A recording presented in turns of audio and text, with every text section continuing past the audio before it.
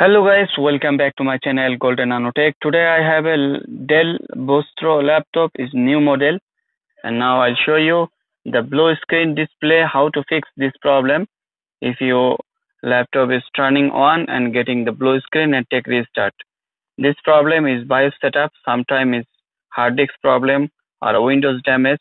But now is same problem. Is giving blue screen is I think the BIOS setup problem so how can you fix this problem? Now i'll show you. And see guys it's loading loading windows. After that giving this blue screen. So first this problem you have to turn off the laptop. And then turn on and press the F2 F2 key. Okay. And turn on and press F2 for BIOS setup. So guys Eh, here is the BIOS setup. This is the Vostro 3500 model. Okay. So now I will go to the setup in down. First is the boot configuration. You can see the Windows boot manager Windows boot manager everything is good. So here is the secure boot is enabled so I can disable the secure boot. Okay I have to disable secure boot. And then I go to the storage okay here is our setup. So storage here is you can see the red one. So this red one you have to change to AHCI nvme you have to set up this one. Okay? And then press save change.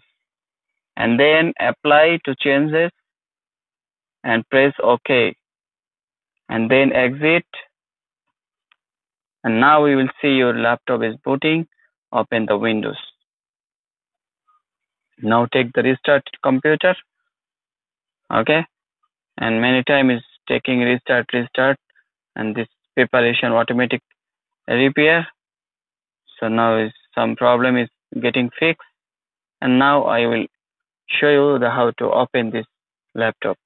Without cut this video it's giving this option so I take restart.